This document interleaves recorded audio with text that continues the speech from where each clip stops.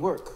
to the best. Shout out to Rembrandt for uh, all these in the studio. Yes. Because if your teeth aren't white, you aren't right.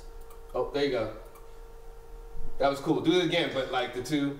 There you if, go. Start out that one. If your teeth aren't white, you're not right.